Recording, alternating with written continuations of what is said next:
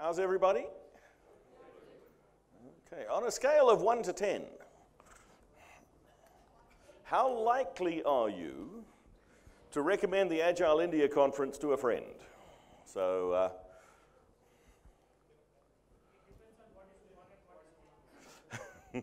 the 10 is I'm going to tell the whole world. One is I'm going to tell them don't bother.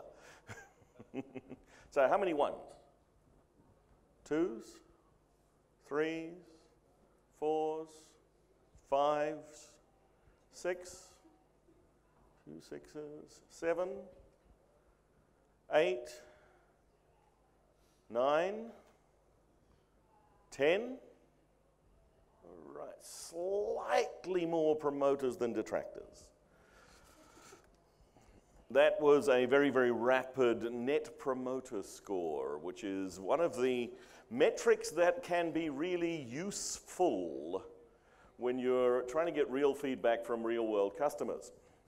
Uh, I would encourage you, we're not going to talk about NPS, Net Promoter Score, much more than that now, but I would, would encourage you, if you are responsible for products in any way, you really need to understand how your customers feel about your products. And NPS, Net Promoter Score, is one of the metrics that does actually matter. All right, product ownership. Um, I suppose I've got a, a, fundamental premise, and I must nail my colors to the mast. I don't think I'm going to be as uh, controversial as, as the uh, opening talk, but I believe that the way product ownership is typically spoken about in the Agile community, and especially as, it is described in the Scrum Guide, is broken and wrong. It does not work. So that is the, the premise of this talk. Um, that's me. I don't want to go through who I am, where I am terribly much, uh, except I am a grandfather now and I've got seven grandchildren, and that's much more fun than, than pretty much anything else that I do in my life. Um, those of you who are parents and you take your children to, to their grandparents to visit occasionally, uh, I, am going to let you in on a secret. You know, when we fill them full of sugar and, and do all of the things that you don't want us to do, it's deliberate. And then we send them back. It's um, revenge at one or other level. It's also having fun with them. so, our focus for this session, and it is branded as a workshop. A workshop is a collaborative activity in which a group of people work together. We are going to collaborate, we are going to work together, and yes, I'll give you time for silent reflection too. We're going to look at the product owner role. We're going to look at the impact of different project or initiative types on that. We'll look at the product ownership team. We'll focus on value, and then we'll have some time looking at some of the tools and techniques that are available to support product ownership and then we'll wrap things up. We have, we have 90 minutes, or just short of 90 minutes now, and I'd like this to be an interactive session. I don't particularly like a monologue, so let's have the conversation, and it's okay if you disagree. Just because Shane said it doesn't mean it's right.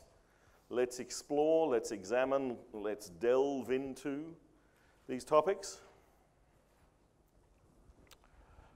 So here is the official definition from the Scrum Guide of the product owner role. The product owner is responsible for maximizing the value of the product and the work of the development team.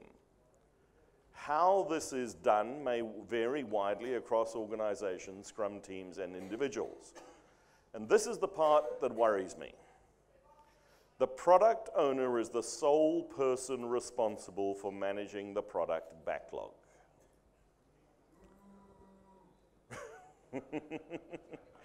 I, in any reasonably significant product, I do not believe that a single individual has sufficient mental capacity to do that effectively. That is my premise. What I'd like you to do now is in whatever groups you want to form for five minutes, talk about and make some notes. There's paper on the tables, there's flip charts, you, there's the, the little pads. If you want, I've got some post it notes up here as well. What I'd like you to do is just make a short list of the things that you have seen where product ownership hasn't worked well.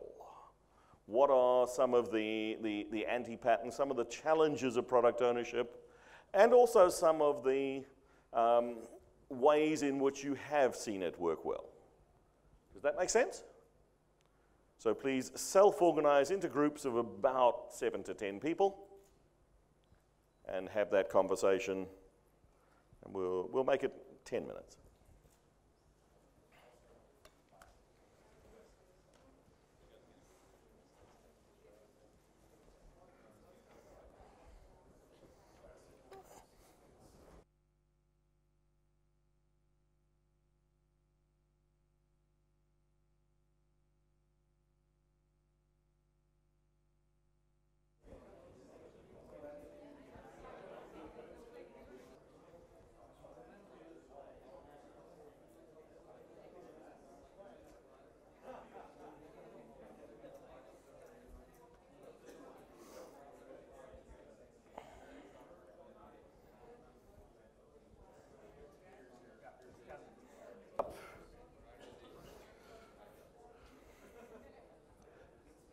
Now I'd like you to summarize.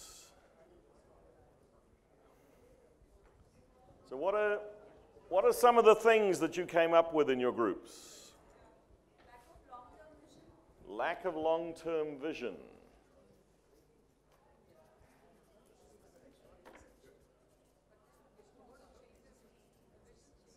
What else? Lack of domain knowledge.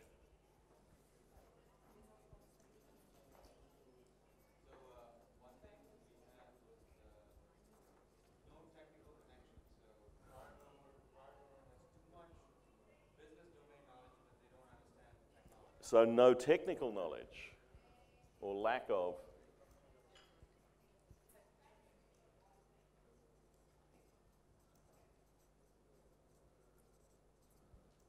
Okay, anything else? So, the conflict between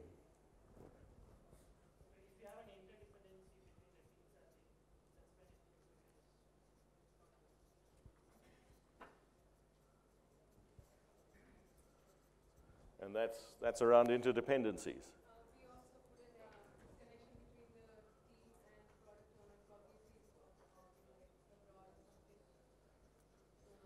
So, a disconnect between the remote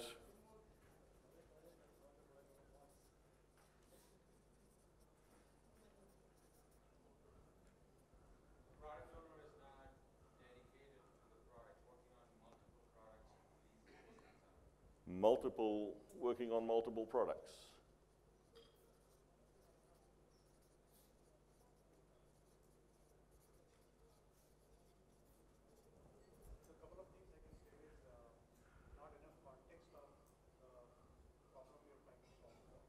Is that domain knowledge or is it beyond that?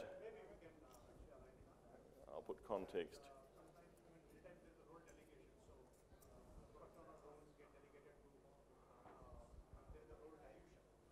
Role dilution.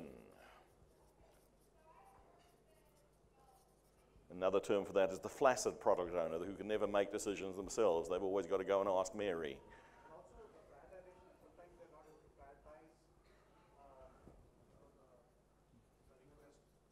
Not able to prioritize.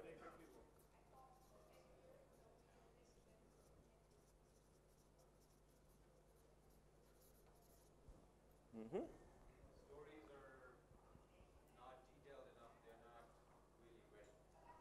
Or he's not ready.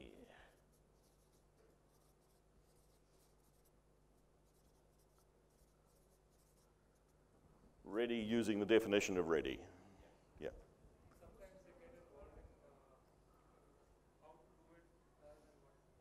Okay, so too much technical involvement. Micromanagement.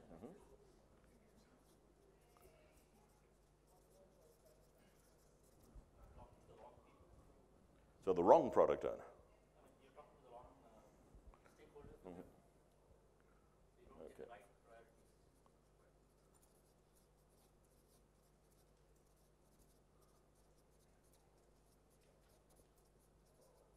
Mhm. Not understanding the competitive environment.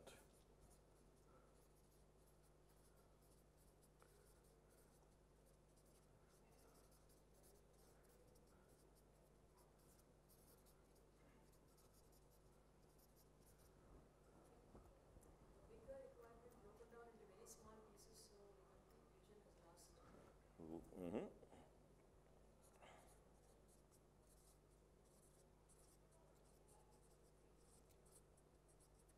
So losing the big picture vision. Shiny object syn- syn- syndrome.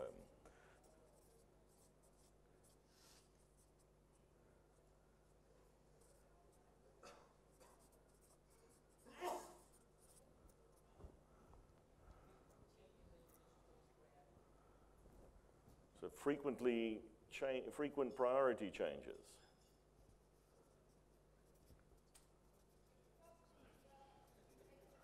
Isn't that what agile is all about?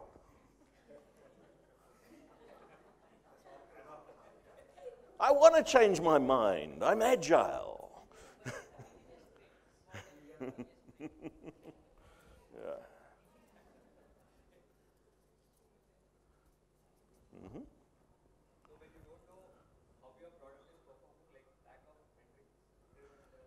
Lack of metrics.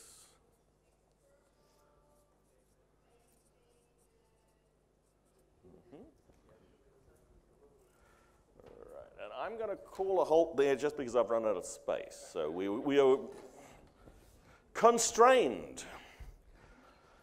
That kind of sounds to me like my premise might be right.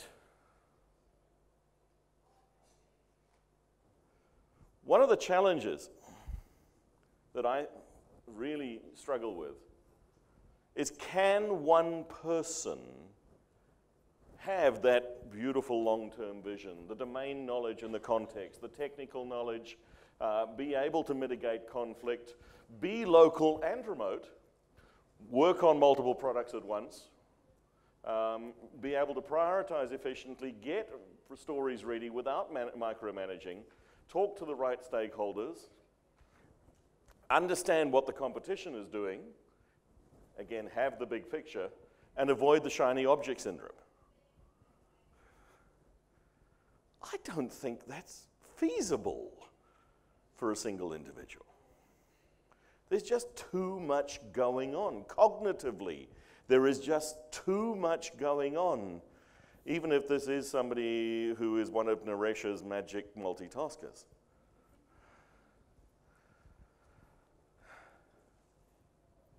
One of the, the challenges that I think uh, we face in agile and in software engineering in general is that we don't have simple empirical solutions. Every environment is different, every context is different. Yes, there are things that we've found seem to work in many different uh, environments and contexts, but there truly is no one size fits all. And I feel that this applies to, the product, to product ownership as much as it applies to every other aspect of the work that we're doing. Sure. To software developers as well? I think they all apply to developers. Yeah. We need to have that clarity of understanding to people, work, everyone on the team. So, one way is just make everyone product owners, right? That's one, that's one possible approach. I'll tackle that one a little while. but you're right. I think we, all, we need, and for me, an aspect of product ownership that is incredibly important is conveying these messages so that there is a clear vision and a clear understanding. But I'll talk about some ideas that I have about how we get there. Now, if you are working in what uh, Jennitta Andrea called the Cinderella Project, and she wrote about this back in 2005, then Agile, any one of your Agile brands, as it is described in uh, the Scrum Guide or the XP book or uh, Jim Highsmith's Adaptive Software Development, any one of them, you can pretty much apply uh, or crystal clear from Alistair Cockburn, If you've got this small co-located skill uh, team, six to, seven, six to eight people with generic skills, with a, an engaged customer right at your beck and call. They're sitting in there with you, absolutely clear re- terms of reference, a short duration, probably web based, user centric type systems. That, that dedicated on site customer or subject matter expert with clarity of project vision and dedicated team members you put those people in a room and you tell them, figure out how to work and how to solve this problem. Don't give them any process whatsoever because they will solve the problem. Uh, anyone worked on one of these? I have once. It was great fun.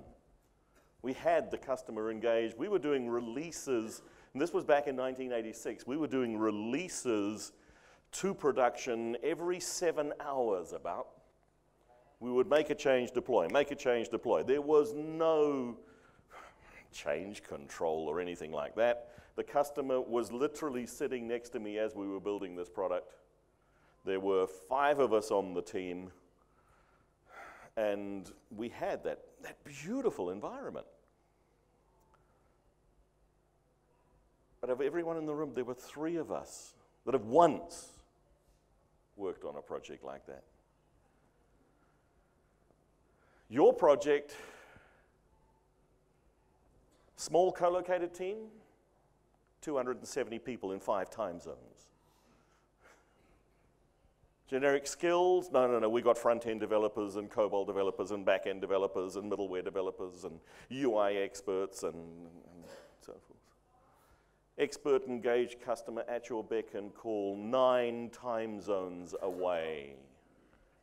Uh, clear terms of reference. We want to build something maybe sometime. Short duration. No, this thing is going to go rich. 520 sprints, 10 years. Web based, user centric. Most of the interesting stuff today is being done in the API economy. Dedicated on site customer? Hmm, maybe not clear project vision. How many of you work in teams where you have dedicated team members not shared with other projects? 20%? Ouch. The reality is, our environments today are more complex, more difficult than, honestly, what was being worked on in the late 90s when the Agile Manifesto ideas were being distilled in the early 2000s when they, when they came up. When, when Alistair was writing about Crystal Clear, when, when Kent was writing about XP, they were talking about a lot of those type projects. Yes, they were starting to deal with bigger things. Today, we have scaling in all of its various forms, and tomorrow is all about scaling, I believe, at this conference. And we've got the, the, the, the various scaled vendors around the, the outside there. So things are perhaps a little bit more difficult, a little bit more challenging. Philippe Kruchten provides a view that helps us look at our initiatives and say, okay, what are the elements of complexity that we need to take into account? He calls it the octopus model. It's got eight components. And these eight things are size. Well, I don't care what you measure it by, we know the difference between big and small. The level of criticality, how much do we care if this thing doesn't work properly? Do we kill people? Or in the case of some systems, do we kill many people all at once? Uh, uh, traffic management systems, air traffic control systems? Or is it uh, we lose some money? Or do we lose a lot of money? Or do we get slightly embarrassed? Or do we misspell something on a website? What's our business model as an organization? Are we selling products? Is software something that we do to support other parts of the business? Are we an outsourced provider offering services for other companies? Because the way we're going to work and communicate is going to, going to vary. How stable is the architecture of, the, of this product we're working on? Has it been around since 1964 in the case of one product I worked on? And it's got, at that stage, 35 years of technical debt waiting. Or what, how distributed is your team? Are you the six person team co located or you're spread over nine time zones? What's your governance model? Are you a, a bank or a financial institution?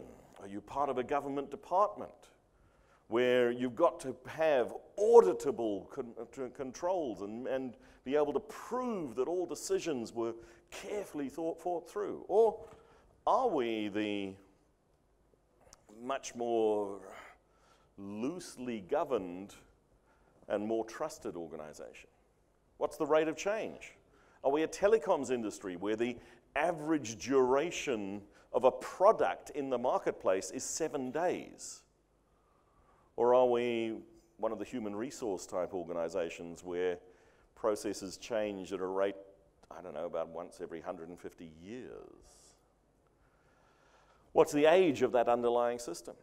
These are all factors that you need to consider when you look at how are you going to choose to work together. When we look at our the, the, the absolute breadth of choices in the agile brands and the, the, the over 70 different practices that fall under the broad agile umbrella. Some of those practices you're going to be able to apply, others you're not. You're going to have to look at, you know, if you've got a distributed team in nine time zones of 250 people, you can't have a daily stand up with that team.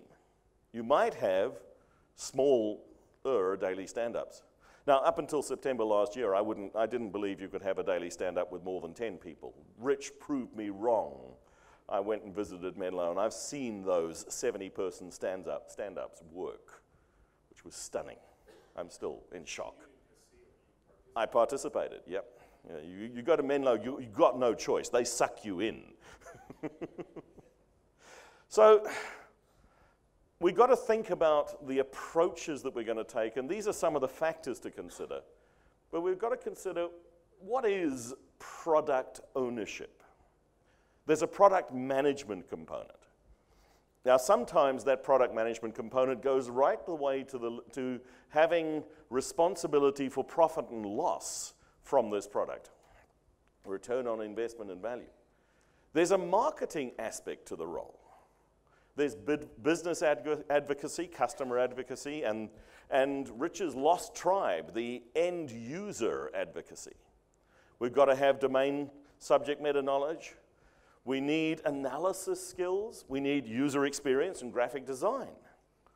Oh, and by the way, while you're doing that, be innovative and communicate well and make good decisions for people. And don't do anything that could get us into trouble from, with the lawyers in terms of legal and compliance.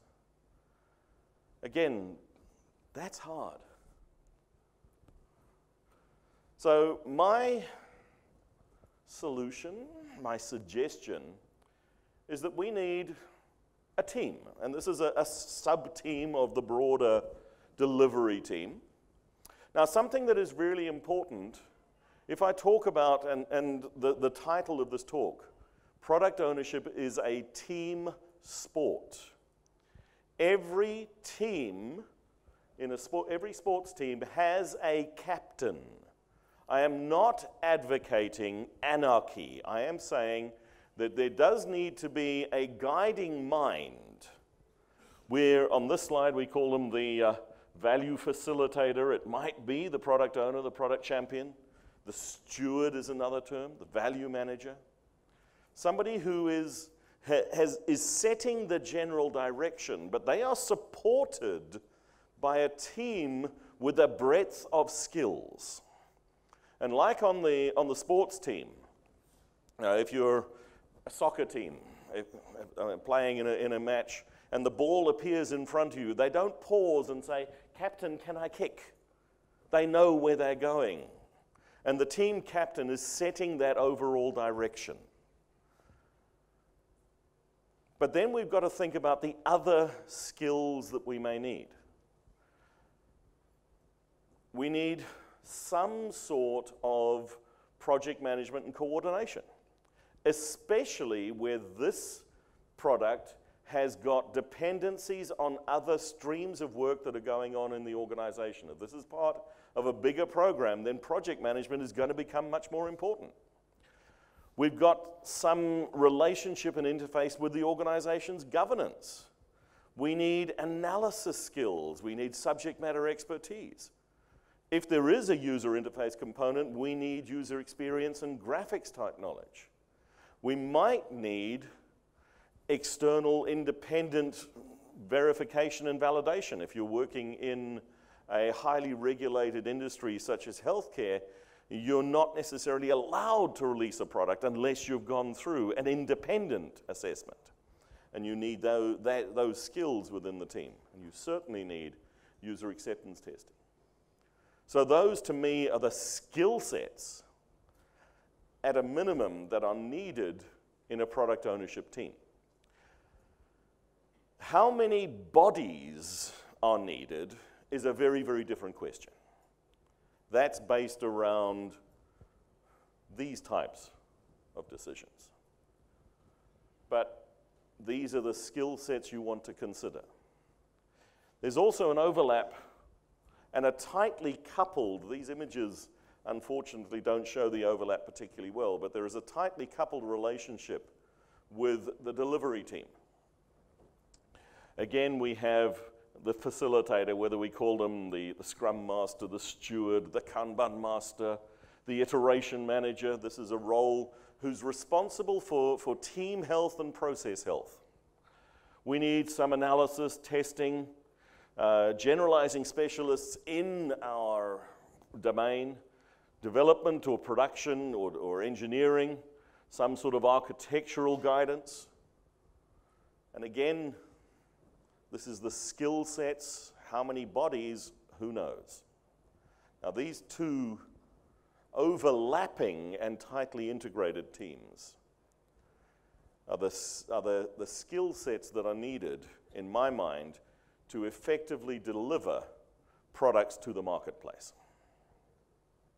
Is it making sense? Nobody's telling me I'm a liar yet? A bit heavy on the uh, upper circle. Bit heavy on that one. Yeah. Mm-hmm. Cool. Where, why, where's it? too- Where's too heavy? Uh, I know you're saying they're jobs to do, not. Yep. But I just get the sense that there's a lot of people. So, And potentially, in a, in a complex product, product, I've seen a team of 12 people. Um, in a simple product, I've seen it as small as two. And, and occasionally, I've had the real, the, the one. uh, also, hmm I would think the UX graphics capability lives inside delivery. It could do. Um, there's, there's different patterns for, for the engagement of UX graphics, whether they're, whether they're uh, at one, one thing that I see with, the, with these two overlapping and tightly coupled groups is they tend to be working at a slightly different cadence. The uh, product ownership up to about half an, an iteration or sprint ahead of the development aspects of the team because They are responsible for getting it to ready, and these people take it from ready to done. What I don't want to do is have a, a large time span between ready and done. No more, in my mind, than about half a, half a sprint between ready and done. Okay, yep. Possibly, yep. Who are they? They are people uh, with T-shaped skills. So um, we've, we've mentioned development there, but possibly we've got people that are full stack developers. Possibly um, some of our developers are um, user experience people or are good at graphics or uh, depending again on the domain we're working in.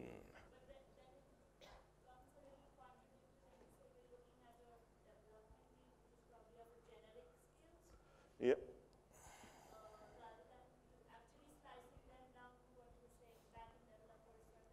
Yeah, and I'd, I'd I'd rather have those personally full stack ge- generalizing people with some specialist knowledge. It's not about the thin, narrow generalists. It's generalizing specialists. I'm good at this, but I'm able to step outside and do other things as well. And, I, and we, we build that depth over time. We become, and, and I've certainly seen this in people, become experts in many areas by putting in a lot of work to it. All right. Can I ask you to take just a five minute conversation for this one? What's wrong with what I've presented so far? Where is my model broken? Does this resonate? Is it, does it feel reasonable? Or is, this, is there something that we should be doing, that I should be doing radically different here?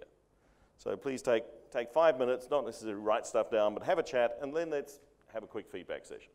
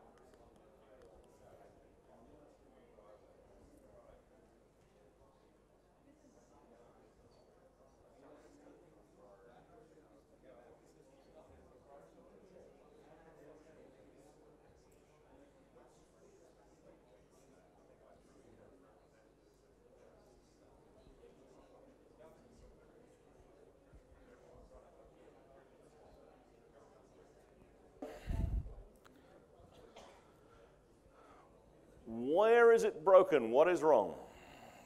Or if I were to change it, what should I change it to? One thing, one thing that we want more of a clarification, Mm-hmm. because this is something that I tried in my previous project Mm-hmm. as well. Are we, are you suggesting that the product ownership team and delivery teams and delivery team are two separate teams and are not necessarily following the same sprint schedule? Or are you suggesting they're all part of They're, they're, uh, they're sub teams, very tightly coupled, with probably up to half a sprint cadence difference. What, the, the reason I asked that Mhm. question is if there is any kind of a separation, either physically or um, what could happen is that the developers who are actually developing the product will lose the context if the product No. Co-located. If, if given me druthers, given my choices, they this is they are a subset of a single group sitting in. If we take the Menlo picture, all sitting around the same table. Within. Yeah.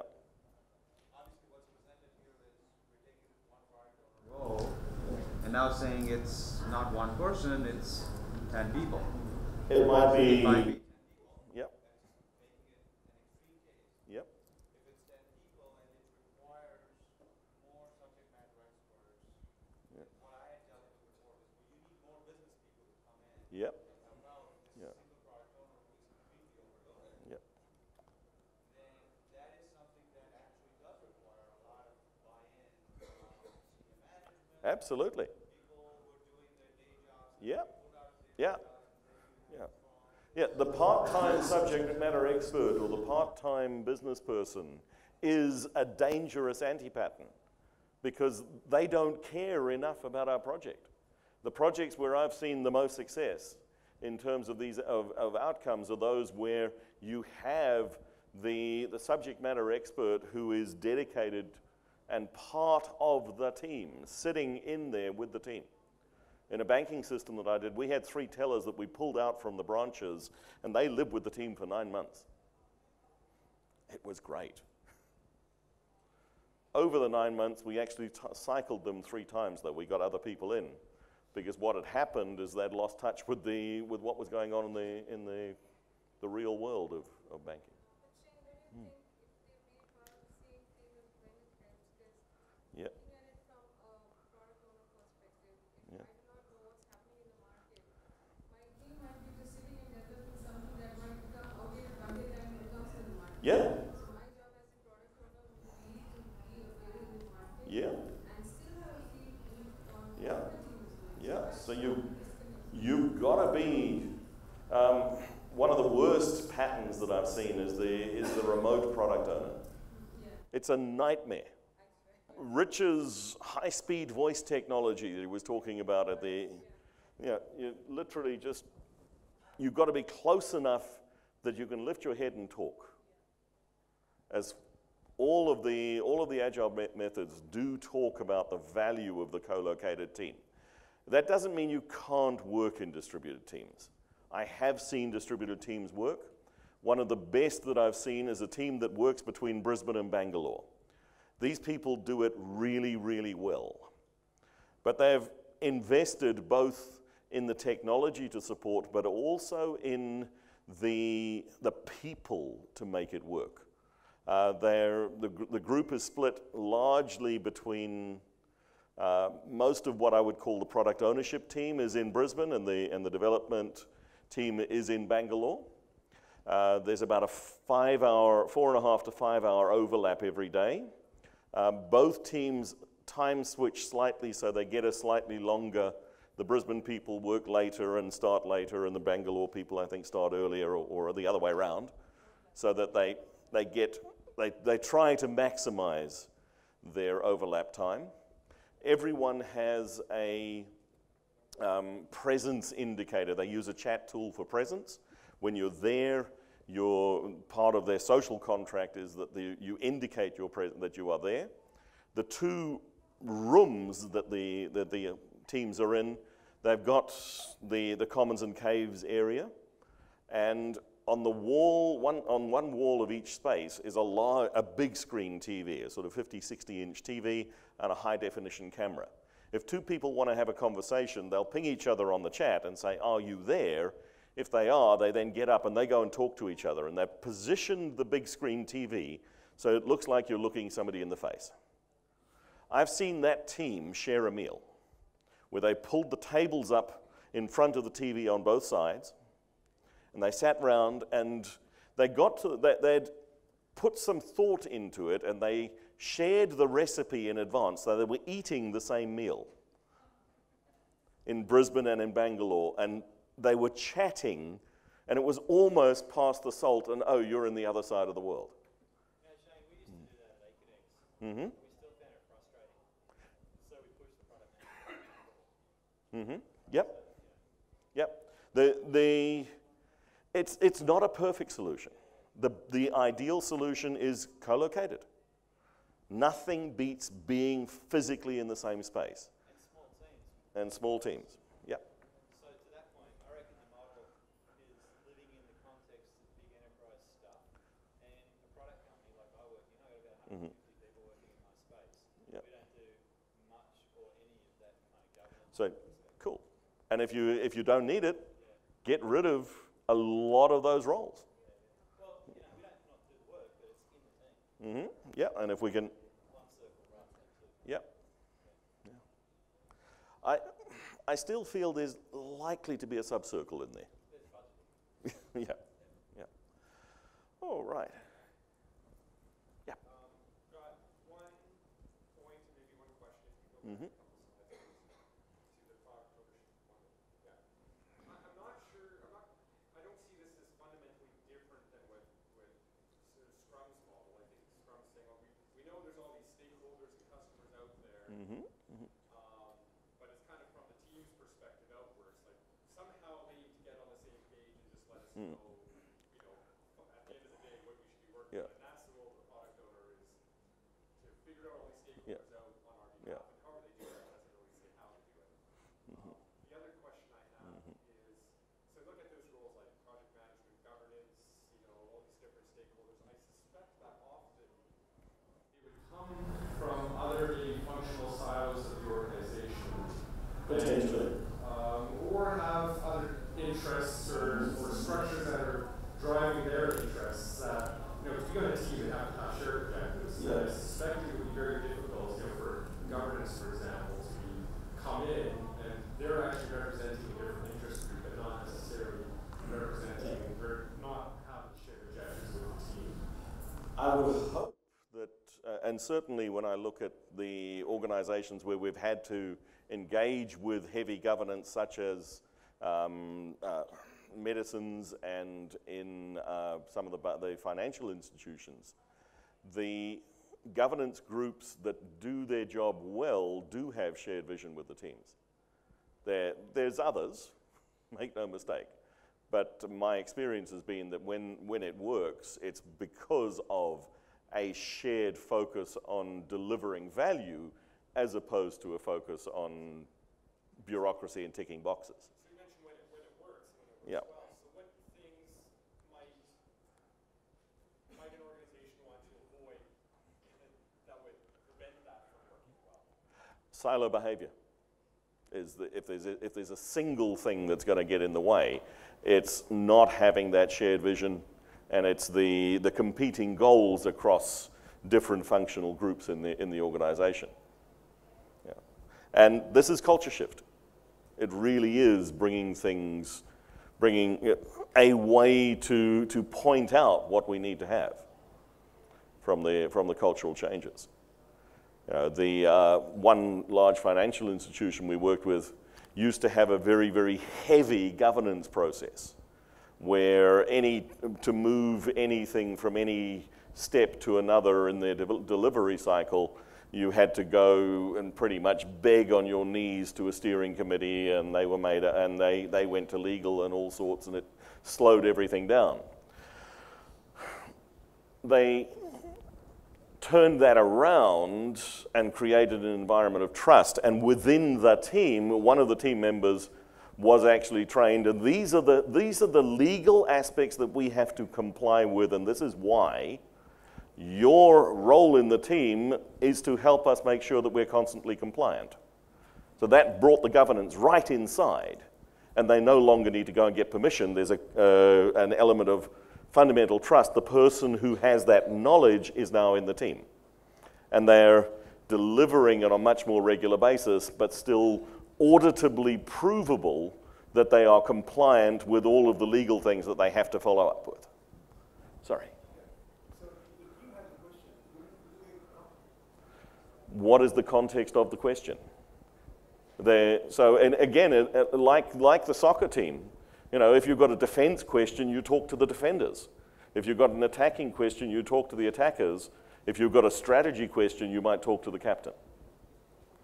So what is the, what is the context of the, the question? Then you find the person within either part of the broader team who's got the right knowledge.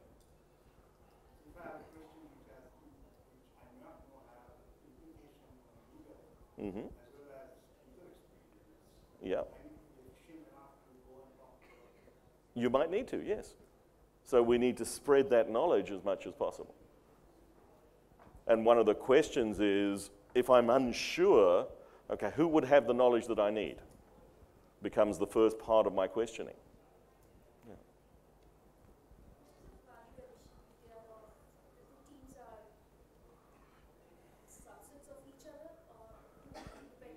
They are subsets of a single group, tightly coupled with possibly a slightly different cadence of no more than half a sprint, in my mind. That's the ideal. One primarily responsible to get with, for getting to done, the other subset taking from done to ready. And done could be no more than half a sprint ahead of ready. Oh, sorry, ready, a half a sprint ahead of done.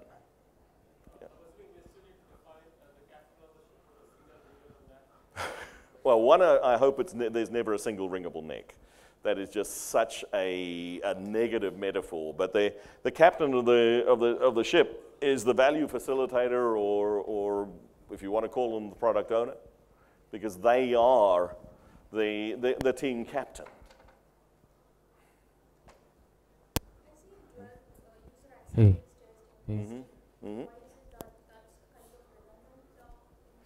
this? It's there will somewhat depend on what level of testing you can do where, and also do you need, again, possibly for compliance reasons, reasons to do some sort of independent v, IV and V type activity.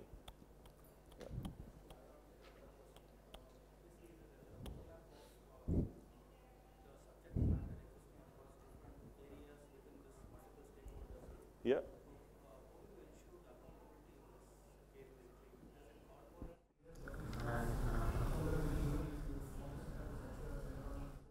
What do you want to be accountable for? Yeah. Yeah. So the team captain is the ultimate arbiter of where there, where there is where there is conflict in decision, the team captain is the ultimate arbiter. Mm-hmm. What, what I don't see is that that conflict happens. My experience has been that in this model, you don't get that conflict. People collaborate effectively. Shared goals, shared outcome, shared vision. That, that's where it starts.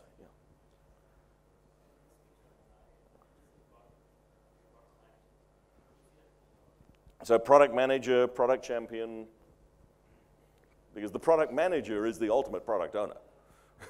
If you have a product manager role in your organization, they typically have that financial accountability for the product. They are the ultimate product owner. Mm-hmm. Right. Yeah. And they, do they have a, a product owner as an assistant or? Okay. Right. But, and yeah, the product manager in that case is the, because if you have a true product management structure, then that product manager has that financial respo- responsibility for the product. Okay. Thank you. Mhm.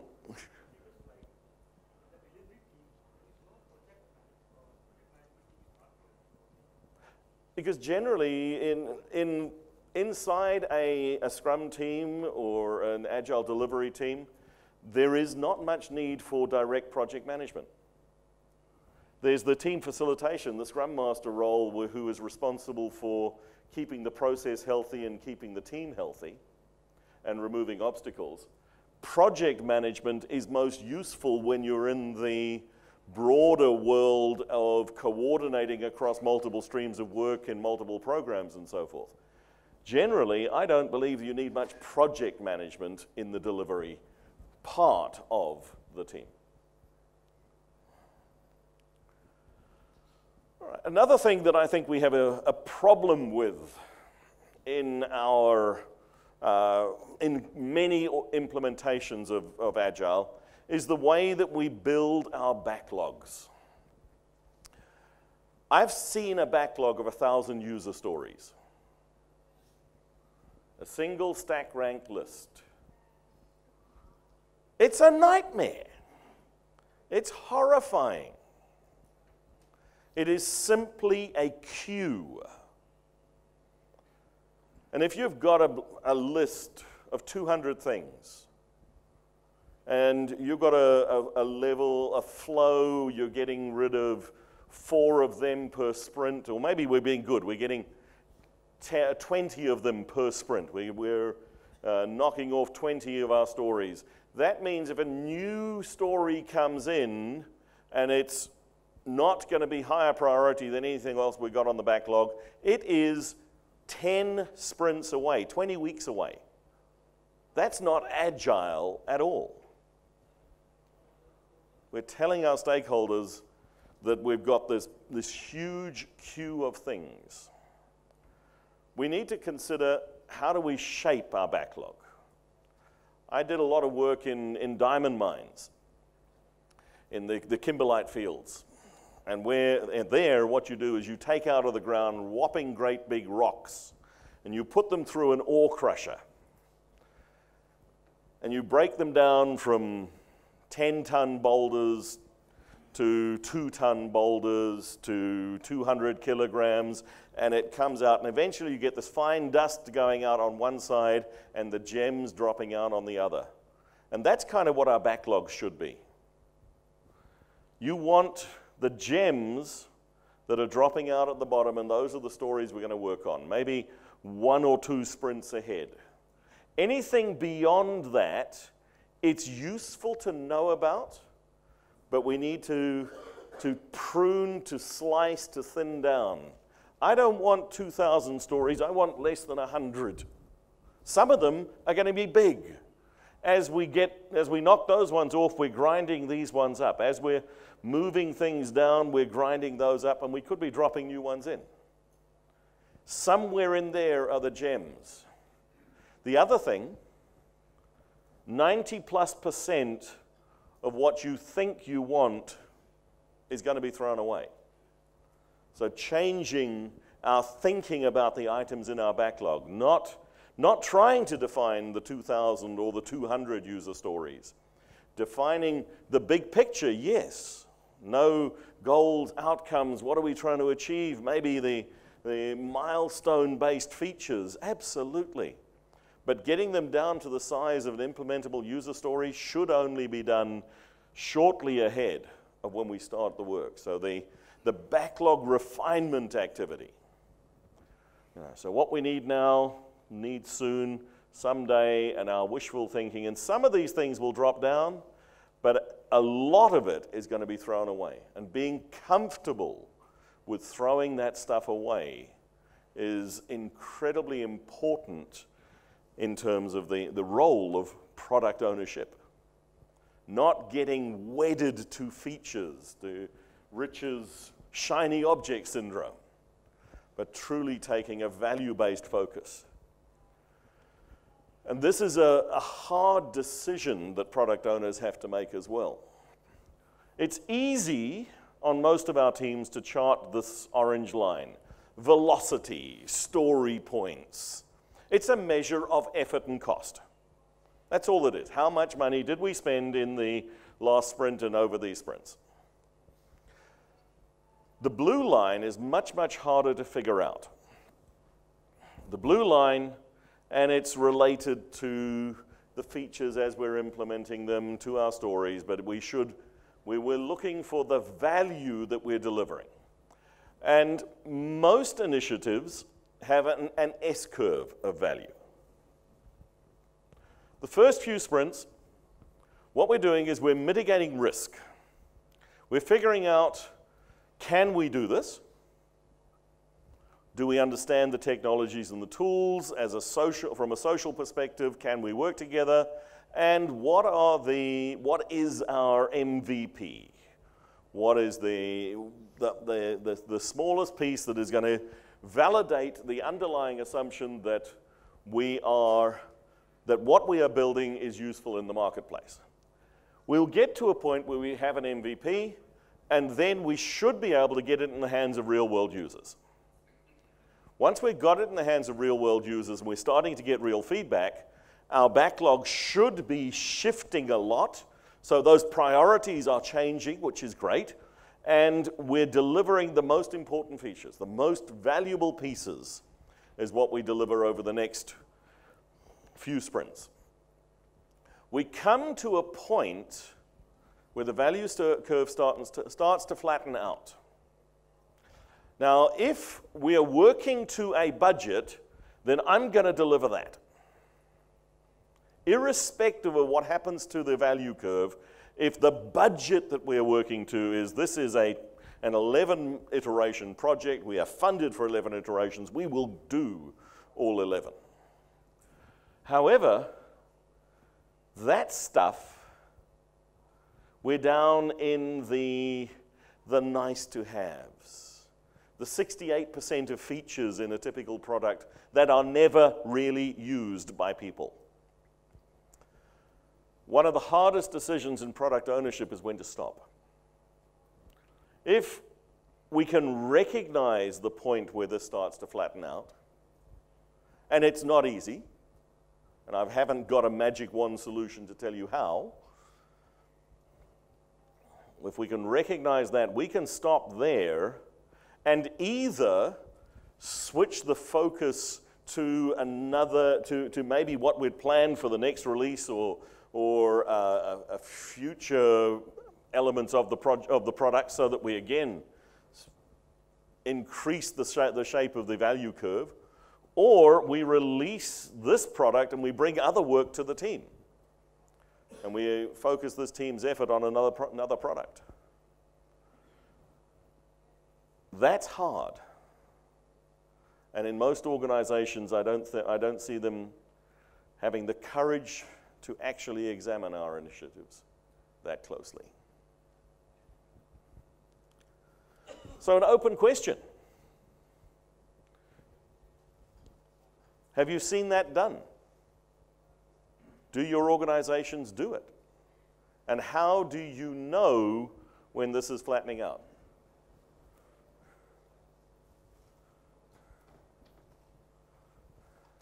I saw a couple of nods.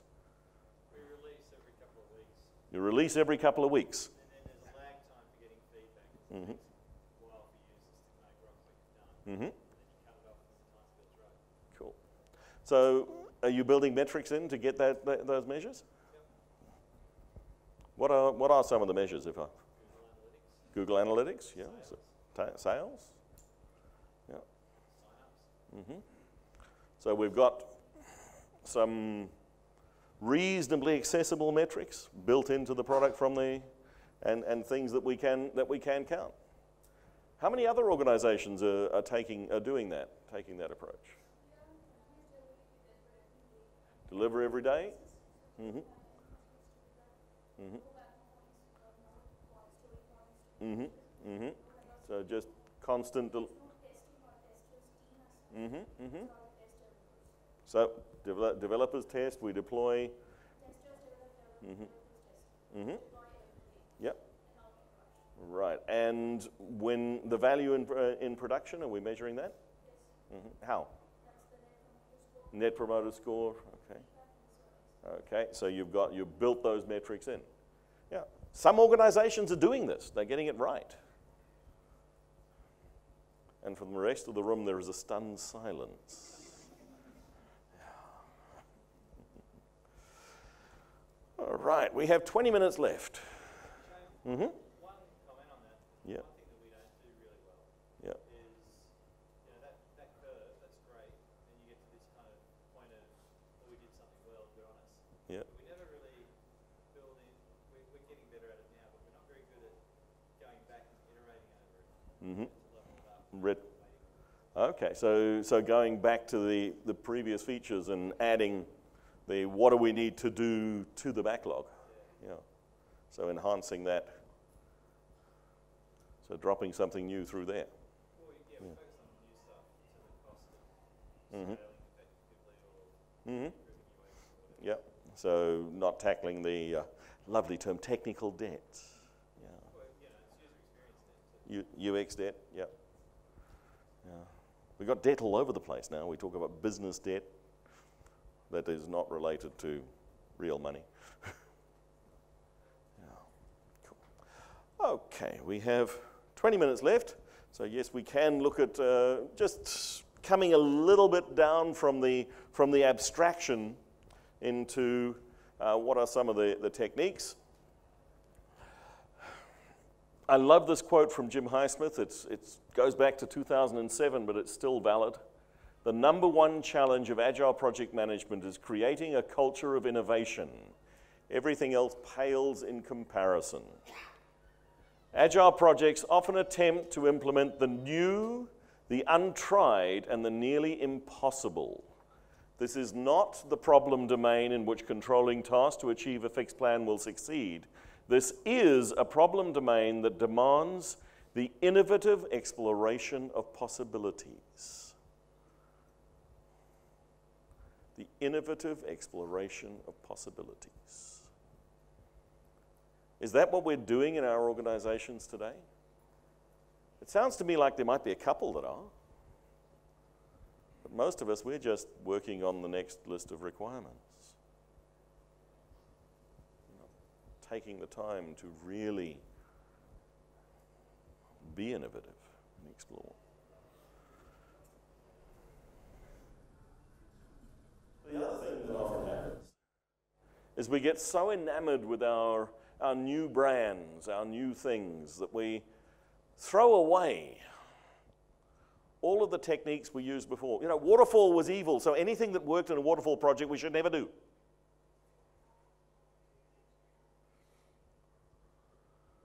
Scott Ambler will tell you that analysis models are really useful in agile projects. But I've also heard we don't do analyst, uh, analysis in agile. We don't need no stinking business analysts. when we bring in new things, and we do and should discard parts of the old that didn't work, but know the difference between the baby and the bathwater? The metaphor is don't throw out the baby with the bathwater. Keep what works. And some of these tools have been around for a long time. This is one that is one of my favorite. Pollyanna Pixton, Todd Little, Kent McDonald's, in their book Stand Back and Deliver. It is Stand Back and Deliver? Yeah. Present the, the purpose alignment model. And this is an initiative that product owners need to, to take when they're looking at the work that they're doing. We need to look at it for each initiative that we work on, and we also need to look at it at every feature or aspect of the products we work on. But at the initiative level, at the project level, we need to understand where does this thing fit? Are we, and, and the two dimensions, does this, how does this differentiate us in the market and how important is it in terms of our mission criticality, criticality and survivability? So, down here, we've got the who cares stuff. It's low differentiation, low in mission, mission criticality. Don't bother spending much time or effort on it. Maybe outsource it if you're going to do it at all. If you have to do it, do the barest minimum that will get by. But most of the time, just don't bother doing things down here. If you're over here in high mission criticality and low market differentiation, parity products, parity projects. Um, financial accounting for many organizations is a good example of a parity activity. You have to do it well. If you do it badly, you run the risk of either going bankrupt or going to prison if you do it really badly. So you've got to do it to a good standard. But doing it beyond that is a bit of a waste of time and effort. Now, I, I don't see Tesla Motors advertising, buy our new Model X because our accounting systems are so good. Just doesn't resonate with me somehow. Us, us fancy agile folks, we should be operating in that top corner. We should be only operating in that top corner. And if somebody sends us to work on a maintenance project, fuck off and go to Well, yeah. As the product owner, I want to be asking seriously why we're doing that. This one, um, I've seen a lot of things gone wrong in organizations, and I'm going to pick on financial accounting because that, that is an area where, where we see a huge amount of over expenditure. Now, we're going to implement one of the big ERP systems. But we are different. Then we- Then we're going to spend $2 million tailoring this ERP system because we are different. But actually, we're in a, in a parity environment. What we should be doing is adopting the, the true industry standards and working to that level and no, long, and no higher. If we're up here, if this is something that differentiates us but isn't critical to our mission, again, we probably don't want to do it ourselves. We want to find somebody who does it well and partner with them. Because from an organization value perspective, that's where we want to focus our efforts.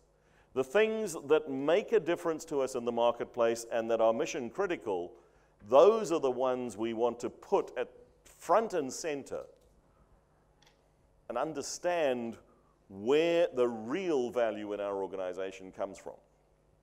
But these are hard decisions.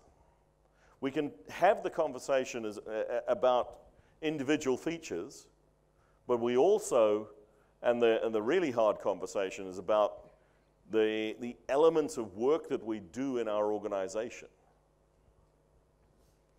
when we're starting a new, a new initiative. So, understanding where we fit is really important.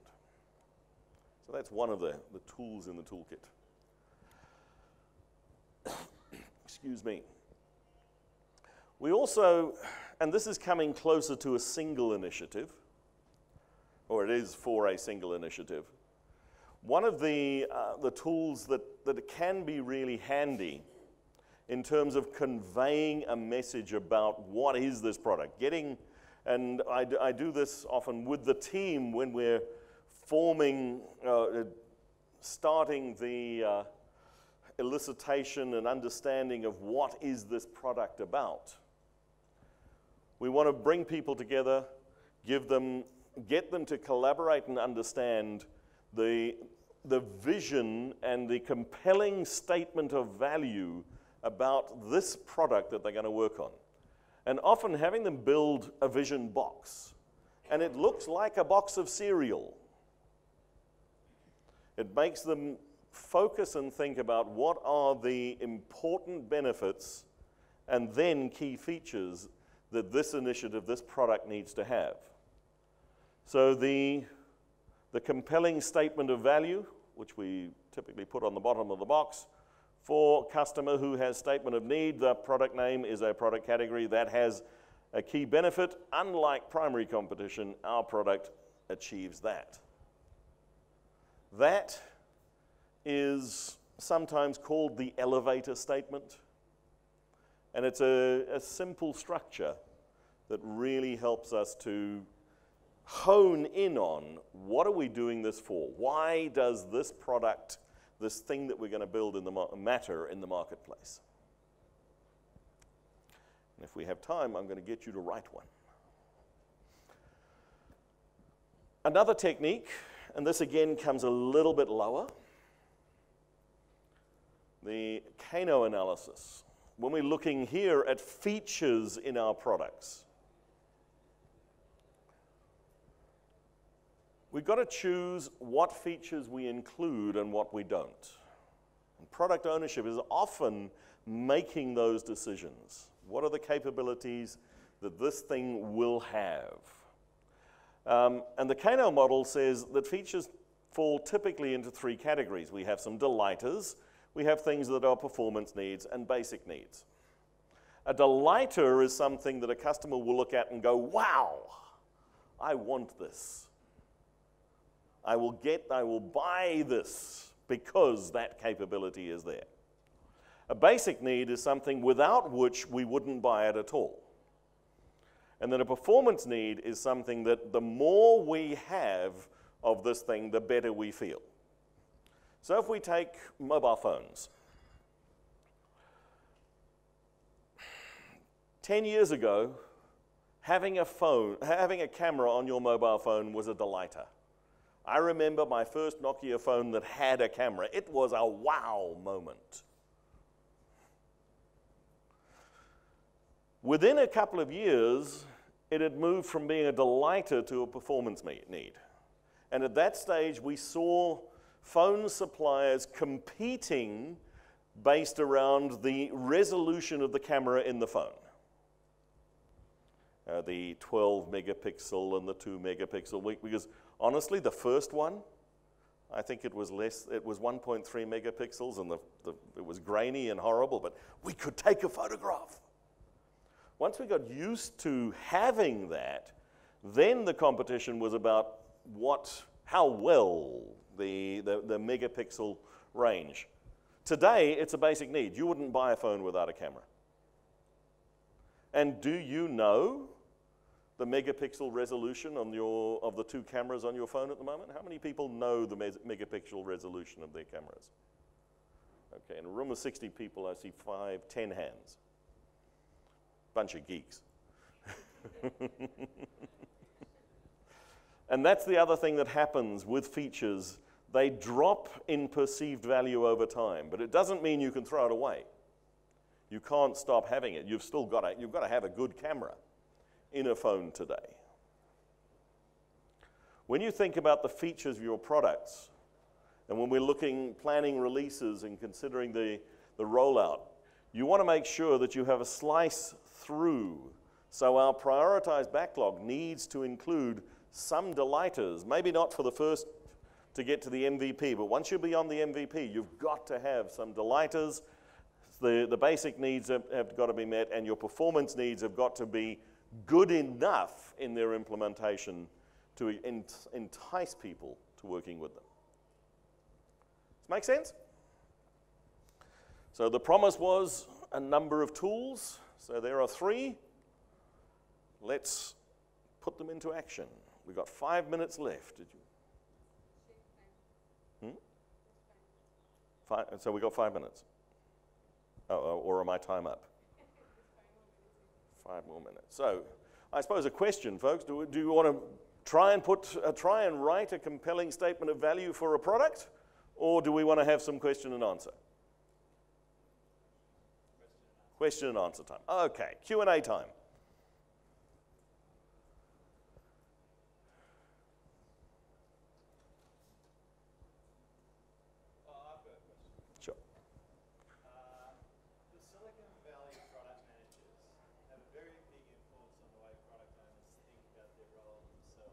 Mm-hmm.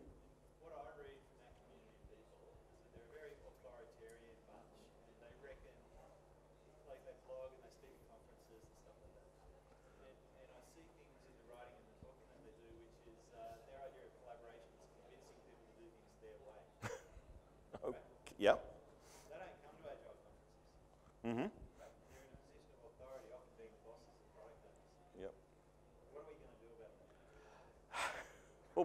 And I'm Yeah. asking you to help figure it. Uh, it, it, it does come down to influence. Now, now, one of the things th- is those product managers. So the, the, the, the question, did, it, did everyone hear the question, folks?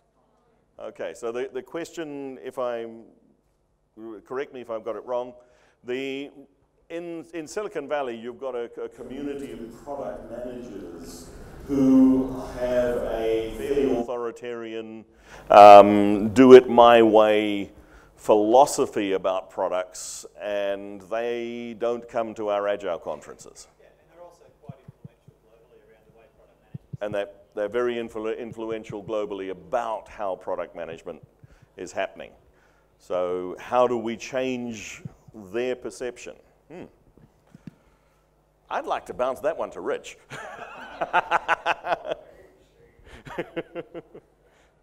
because you've managed to do that with some of your customers.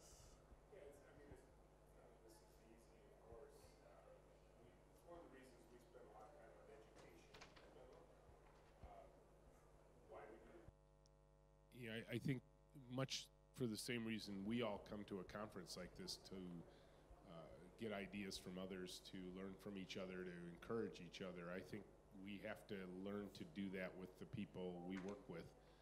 Um, we have to become the influencers. We have to become the thought leaders in what we're doing and why we're doing it. Uh, and you also have to learn to speak to them in their language. Because I think a lot of times, if we just try and use our lingo with the people who don't know what we know, uh, it's very difficult to move them from where they are to a new place. Now, you know, one of the biggest impediments to change is success. If, if you're dealing with people who have experienced a great deal of success and you're trying to convince them to change to a new way of thinking, they will look at you like, why would I change? I'm successful. Um, usually the impediment or the, uh, the um, in- key ingredient to success is pending failure. Thank you, Rich. Yeah. And it is, it is about influence and getting the message out there. Other questions, folks? Is that a stunned silence? okay. Thank you very much, folks. I hope this was a, a valuable investment of your time.